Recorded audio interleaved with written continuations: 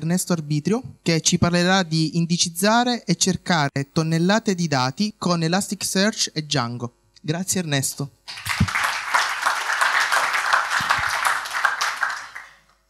Ok, ciao a tutti, eh, io sono Ernesto, sono un tecnologo ricercatore alla Fondazione Bruno Kessler di Trento e... Ciao Robby. e mi occupo principalmente di uh, tutto quello che è uh, l'ambito big data nel gruppo in, in, uh, in cui lavoro. Oggi vi parlo di un problema che è arrivato come progetto di ricerca all'interno della nostra unità, che era quella di indicizzare, a detta del nostro committente, una mole di dati enorme e poterci ricercare dentro per estrarre delle informazioni.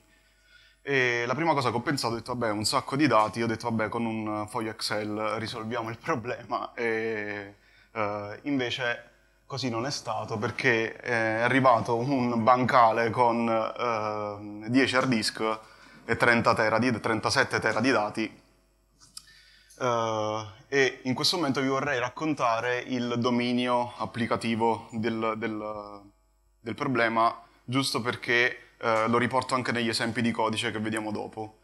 Uh, il problema era indicizzare 37 tera di uh, email e contenuti di mail di cui non posso parlarvi la natura uh, concreta del dato contenuto.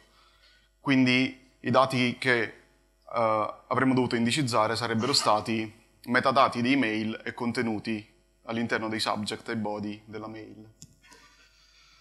La prima cosa che ho pensato è usiamo Elasticsearch, Elasticsearch eh, su un, una serie di nodi all'interno del nostro data center, anche perché i dati non potevano essere esposti all'esterno e quindi abbiamo dovuto eh, adattarci all'hardware che era in casa. E, eh, abbiamo utilizzato Elastic 1 perché era distribuito, quindi abbiamo potuto installarlo su 5 eh, nodi, ognuno dei quali aveva 128 core e 96 GB di RAM eh, con un, uno storage ovviamente adatto a contenere i dati e contenere eh, gli indici poi.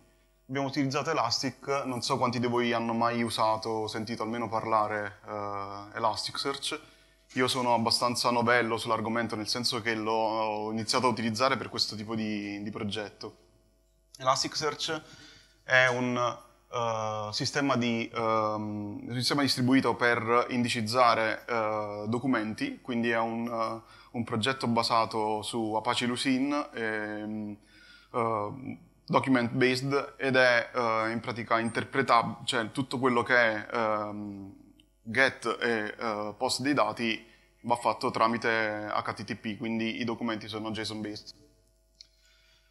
Cosa fa Elasticsearch? Fa un sacco di cose, le cose che a me sono servite è indicizzare dati eterogenei perché uh, i dati che arrivavano non avevano tutti lo stesso formato, uh, in, um, fare una ricerca veloce all'interno degli indici, e poi vedremo come e che tipo di uh, query ho utilizzato, e mi serviva per supportare poi applicazioni di terze parti che potevano essere o applicazioni prodotte direttamente da me o eventualmente eh, collegate a applicazioni di terze parti del committente.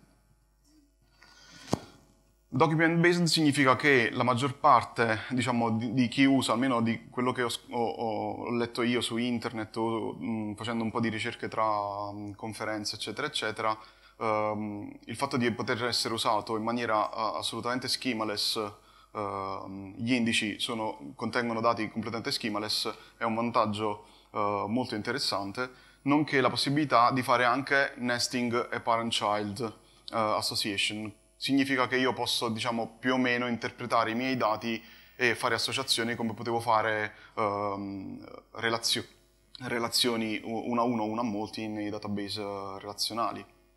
Per esempio questo è un indice uh, di tipo nesting, quindi in pratica pensiamo a un blog post e i commenti. Il blog post è l'entità, diciamo, padre, la parte di nesting sono praticamente i commenti che sono ovviamente uh, un JSON innestato all'interno del documento, in questo caso uh, blog post.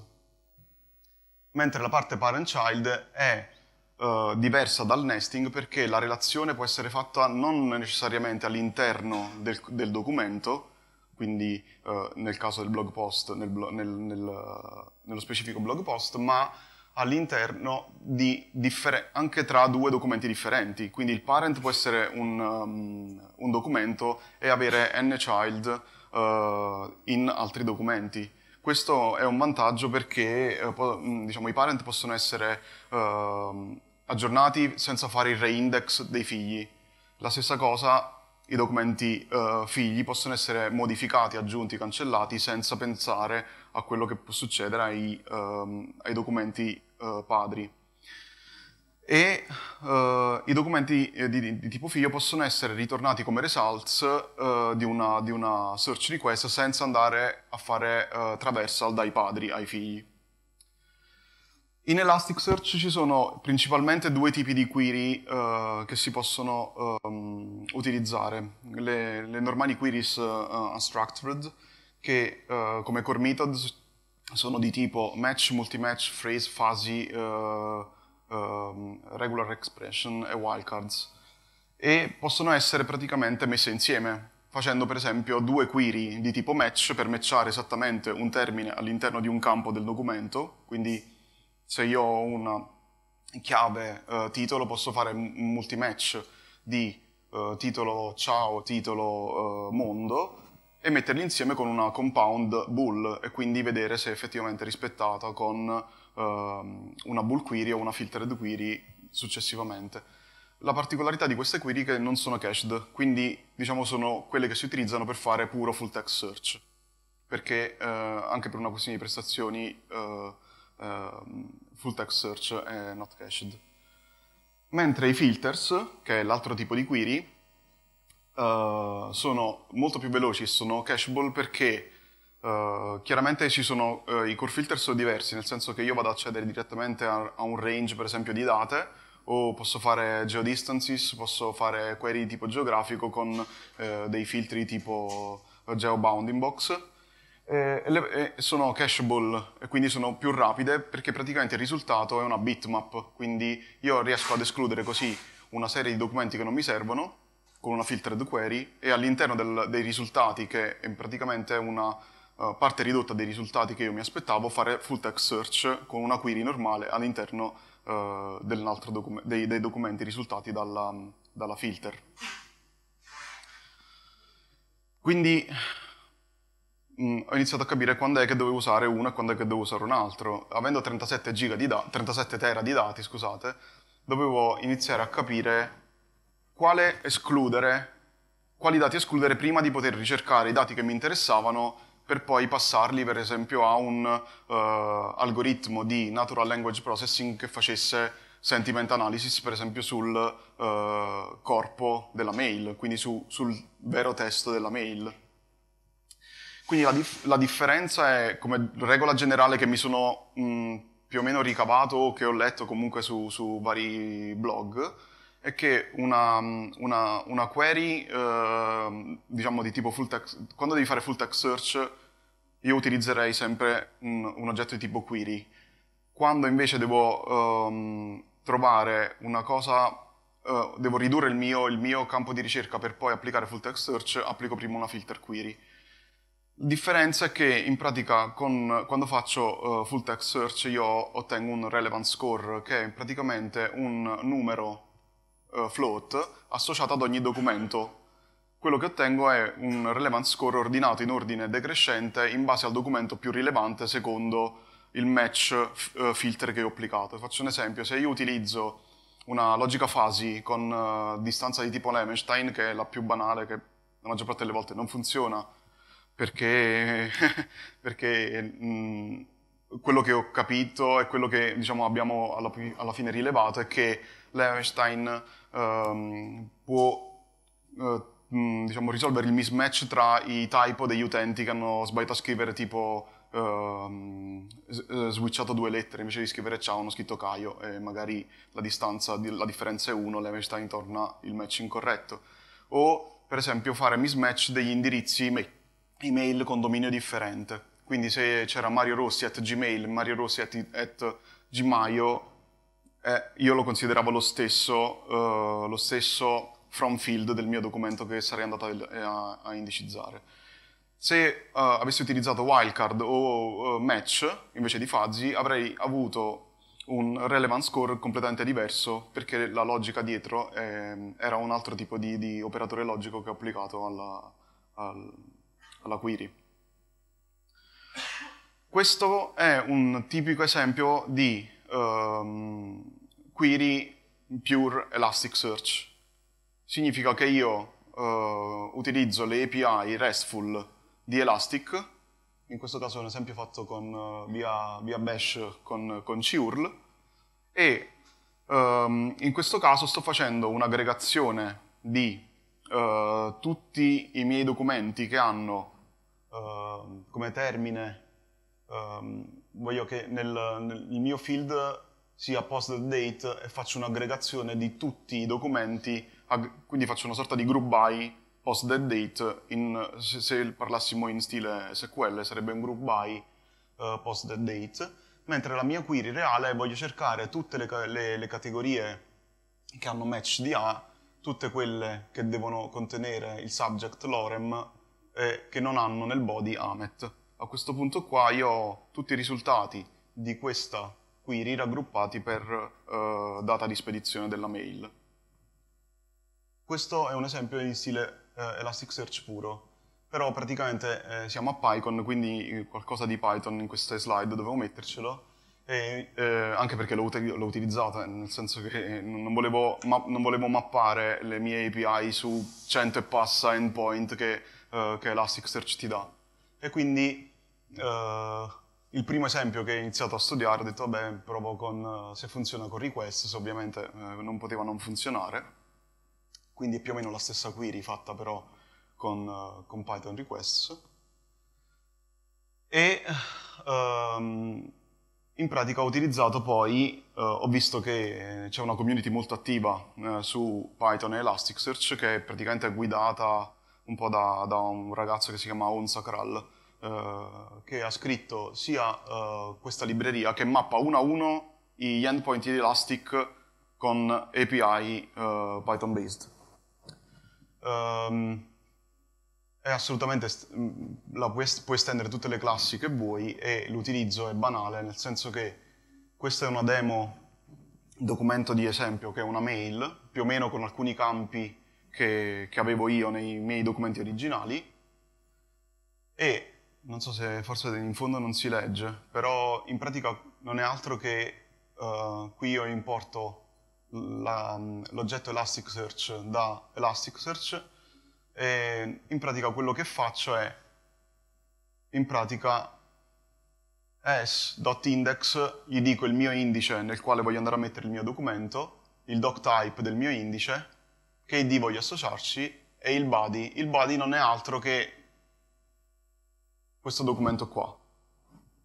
A questo punto qua io ho un uh, ritorno con un JSON che mi dice result created l'id4 nell'index email e altre informazioni di, um, sullo sharding di Elastic. Se invece facessi un get, posso utilizzare l'oggetto quindi di connessione S che ha creato una connessione su Elastic. Se io non gli passo nessun argomento, lui si connette su localhost porta 9200, che è quella standard che utilizza Elastic, e ottengo uh, il risultato che io ho chiesto, con tutti i campi a partire dall'abstract, chiaramente essendo uh, un dizionario ogni volta può, può cambiare, essendo Python. Quindi uh, un tipo di, uh, di, query con Elasticsearch è es.search body uguale il mio dizionario Python per esprimere mio, uh, la, mia, la, mia, query vera e propria. Però chiaramente non, non è altro che ehm, la stessa cosa di utilizzare requests più o meno, cioè, quindi non dovevo fare altro che io comunque me le devo scrivere a mano le query. E scrivere una query, scusate, scrivere una query del genere a mano porta, mh, mm, soprattutto quando sono un sacco di, di, nested object all'interno del JSON, è un vero macello e quindi ho cercato qualcosa di uh, più comodo, in stile ORM, ok? Di, di, per chi di voi conosce Django, in stile ORM, uh, in stile dialetto SQL Alchemy, che potesse ovviare al problema di scrivere una query di un JSON in, uh, tre volte di, di, innestato di tre, di, di tre livelli, um, lungo 150 righe, e quindi praticamente ho trovato, ho usato questa libreria che è built on top di Elasticsearch Py, quindi c'è una forte dipendenza dell'Elasticsearch Py, scritta sempre dallo stesso, dallo stesso autore uh, di, di Elasticsearch Py, uh, e che utilizza praticamente un metodo molto simile a quello che uh, si utilizza in Django. Quindi io istanzio il mio oggetto search usando il mio client, che è, il client è Elasticsearch connessione a, al, um, al cluster, e poi posso applicare filter query, quindi posso scrivere filter match categories, filter match subject, filter... Uh, questo è un oggetto di tipo uh, che uh, mette in OR quest'altro tipo di eh, condizione che gli sto passando.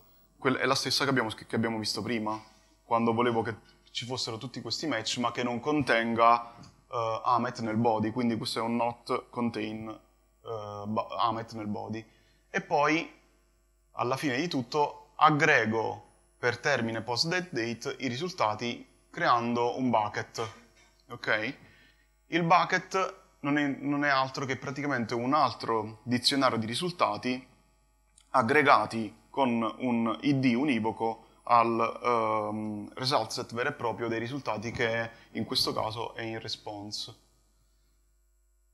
Quindi response object è response.sexecute uh, ottengo tutti i miei risultati e li po- posso accedere ai miei risultati facendo un'iterazione un, uh, sul mio, sul mio uh, iterabile che è response. per le aggregazioni in pratica io me le trovo in un oggetto aggregations all'interno del mio response che la, diciamo, viene automaticamente gestito da Elasticsearch DSL quando fai un'aggregazione. Uh, in questo caso sto accedendo al primo elemento del bucket aggregato per date. Quindi praticamente um, uno strumento che mi è servito tantissimo perché ho iniziato a scrivere tutto uh, in pure uh, Elastic, anche se utilizzavo Elasticsearch Py, ho iniziato a iniziare a fare un po' di migrazioni e c'è uno strumento utile all'interno di Elasticsearch DSL che passandogli il vero e proprio dizionario della query te lo trasforma nel uh, diciamo metalinguaggio di, uh, del DS, dell'ORM del DSL. Alla stregua dei modelli di Django ho trovato utile per esempio creare uh, dei, dei, diciamo, dei modelli tipo persistence all'interno dell'applicazione. Questo significa che potevo crearmi una sorta di modello mappato sull'indice di Elasticsearch. In questo caso il mio indice era, erano le mail e um, ho mappato praticamente tutti i campi in questo modo qua. Ho ridefinito il save per uh, fare per esempio in questo caso qua splittare le uh, linee del body all'interno del mio mh, documento che veniva uh, preso in carico dal, dall'API e un altro metodo che nel caso in cui all'interno del documento era marcato come, come bozza, mh, restituisce true o false in base a uh, uh, se il, um, all'interno di posted date c'era un valore oppure era none. Ma erano eh, giusto per farvi vedere che più o meno eh, funziona come i modelli di Django. E a questo punto qua, per creare un oggetto all'interno del mio indice, utilizzando il modello persistence eh, visto nella slide di prima, inizio, inizializzo il mio, il mio mapping, eh, il message per me è email, meta, bla bla bla, e quando faccio article.save il mio articolo viene salvato direttamente sull'indice di Elastic e facendo article, che è il nome della classe, .get, prendo il risultato e lo posso, posso accedere ai metodi della classe praticamente facendo art- uh, article.isDraft per sapere se è una bozza o meno, per esempio. Quindi a un certo punto del, del problema, uh, è, cioè a un certo punto del progetto si è presentato, ok, um, io questi, ho indicizzato i risultati, ci ho messo 4 settimane per indicizzare 37 tera di dati, ho creato indici che potevano essere collegati all'indice RAW perché volevo per esempio creare il network delle mail, ovvero uh, il subject A ha spedito n mail al subject B, C, D ed E, io volevo sapere quali erano state veramente le interazioni e qual era il peso delle interazioni.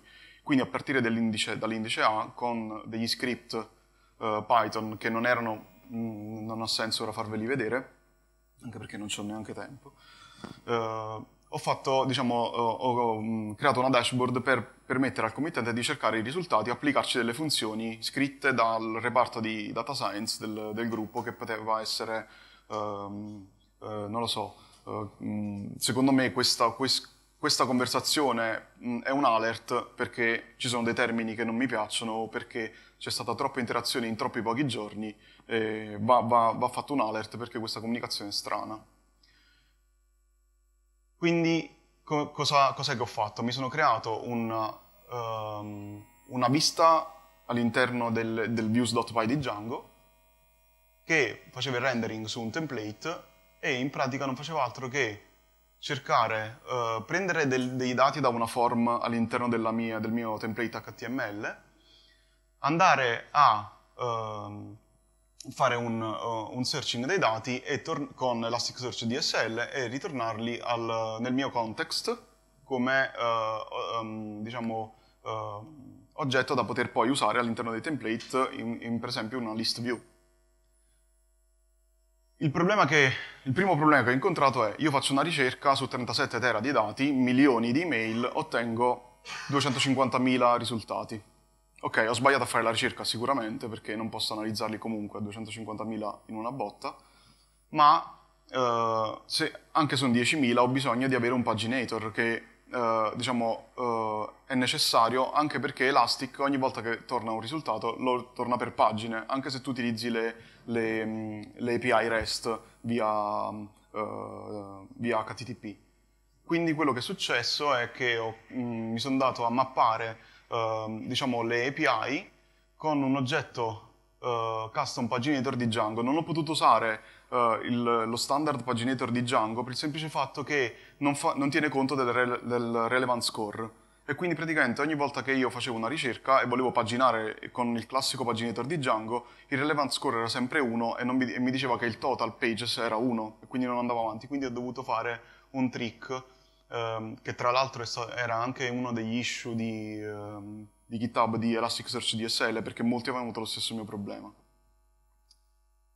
Quindi per fare il display, il display dei, dei, dati non ho fatto altro che impostare nei miei settings di Django un, eh, diciamo, quanti elementi volevo mostrare per pagina in modo tale che poi il mio paginator mi divideva in base al numero di risultati diviso il numero di, del page size, quante pagine ottenevo per poter mostrare i risultati.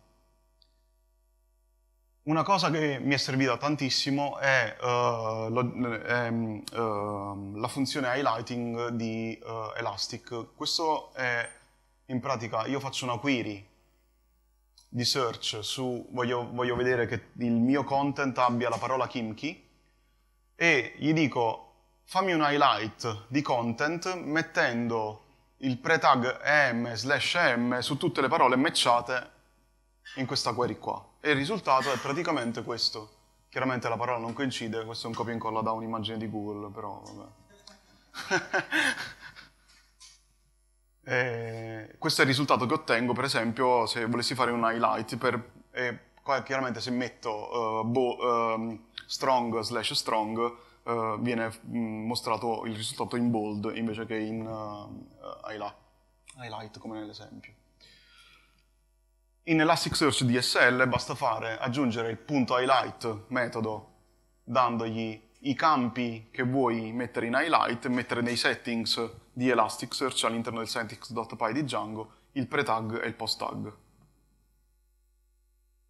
Che problemi ho incontrato? In pratica uh, dovevo indicizzare nuovi dati mentre facevo anche ricerche. Questo era un problema di concorrenza un po' rompiscatole che ho provato a risolvere con Celery. Uh, conoscete Celery più o meno? Mm, cos'è? Uh, in pratica con Celery, che è un gestore di code e job, sono riuscito a scrivermi un task che uh, in pratica una volta che cercavo lì, quando era in indicizzazione, nel momento in cui il, il, il cluster era uh, scarico, il, il, task Celery si occupava di fare la ricerca contem- in contemporanea sullo stesso indice su cui stavo reindicizzando i dati dopo una nuova ingestion. E quindi ho utilizzato Celery per fare uno shared task e eventualmente uh, salvare la mail durante, dopo che la, aveva finito la ricerca, perché io davo priorità alla ricerca piuttosto che all'indicizzazione. Quindi quello che mi aspetterei è tipo avere un uh, in uh, Elasticsearch DSL, mi sarebbe piaciuto vedere, uh, ok, questa roba qua, una Django Admin Integration, un management command per fare reindex automatico e uh, map mapping degli indici autogenerati. Quindi una cosa tipo batteries included come fa Django Flask con, con um, una serie di cose. Però avete capito tutto, Grazie. quindi...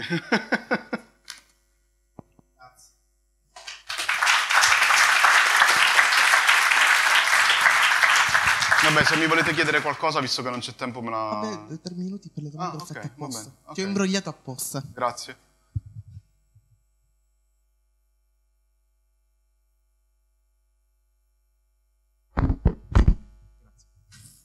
Ciao, eh, oh. complimenti per la presentazione, grazie. Um, eh. Ti volevo chiedere, come mai non, non hai utilizzato Django iStack? Eh, mh, mm, per un motivo molto, molto, molto semplice. Ho incontrato Onsacral a, a EuroPython l'anno scorso e mi sono fatto spiegare un po' di cose da lui e uh, ho iniziato a scrivere il progetto in, Elastic, in uh, Elasticsearch DSL e um, ho lasciato stare tutti gli altri binding che c'erano in giro. Poi ho, scoperto che ci sono altri, io non l'ho mai provato, ma è stata semplicemente una, una fatalità, ecco, nient'altro.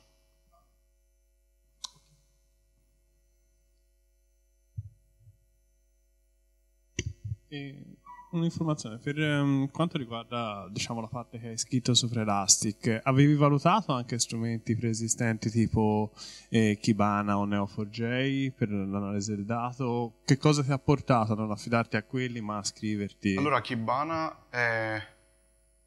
Uh, allora, se io avessi avuto dei dati, faccio un esempio, è retail, e avessi dovuto scrivere uh, avessi dovuto produrre dei, dei, delle analisi business uh, intelligence oriented, avrei usato sicuramente Kibana o uh, un altro tipo di, di, strumento. Ma le analisi che dovevo produrre erano troppo custom per, mh, mm, per utilizzare uno strumento tipo Kibana, o avrei dovuto scrivere troppo codice custom per Kibana per produrre quello che mi serviva. Tipo, um, tu mi hai citato Neo4j, cioè, ho pensato anche a Neo4j. Um, il problema di, uh, il problema di Neo4j è che comunque avrei dovuto fare un'ingestion dei dati da Elasticsearch verso la struttura dati di, di, di Neo4j e quindi avrei avuto comunque un collo di bottiglia. Eh, lo so, ma io l'ho provato e funziona veramente male. Eh, mh, tra l'altro ho parlato anche con, lo, con, uno dei core developer di, eh, di Neo4j e mi aveva detto che comunque anche loro avevano avuto un po' di problemi, soprattutto perché i dati sono tanti. E quindi lui ha detto io con tutta questa mole di dati, ti dico la verità, non l'avevo provato, anche se uno use case simile era um, i, i, Panama Papers.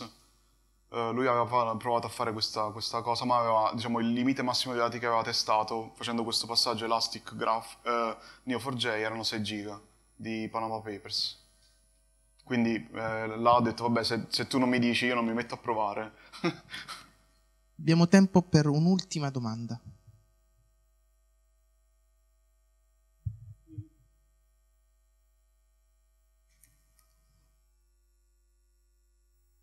Grazie per l'esclusiva. Io non ho ben capito se cioè, Celery come si colloca nella tua architettura, cioè cosa fa? Cioè, il problema è in, in, io indicizzo mentre faccio anche le, le query. Sì, indicizzo tanti dati mentre faccio anche le ricerche sullo stesso indice. Avevo trovato praticamente una necessità di uh, um, lanciare la, eh, in pratica provare a... Um, Celery ha praticamente la, la, la peculiarità di lanciare un, un, task anche facendo de, un retry ogni x secondi. E ogni tanto praticamente eh, Elastic ti rispondeva con un, uh, tipo un 404 se in pratica era in overload di, su, su, determinati shard. E quindi uh, questa cosa mi ha portato a utilizzare Celery per uh, riprovare n volte fino a quando il risultato non veniva fuori. Nella fase di index? Sì, nella fase di saving. Sì, sì. Mi rimaneva appeso. E, e tra l'altro il cluster, in, il, il cluster health iniziava a, a bippare rosso e arancione perché praticamente lo sharding era sputtanato. Eh, esattamente, quello è il problema. E quindi Celery gestendo sincronamente i job. Cosa? 2.4 di Elastic. Non sono passato alla 5. Eh. Eh, ma io ci ho scritto troppo codice. Grazie mille.